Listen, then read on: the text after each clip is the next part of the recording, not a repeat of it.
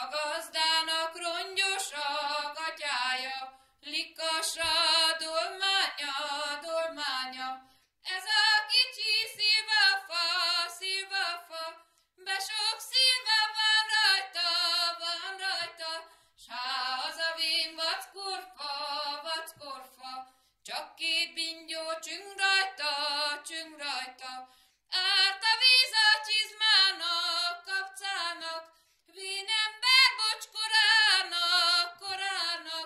kisasszony papucsának, pucsának, árt az ember gyomrának, gyomrának.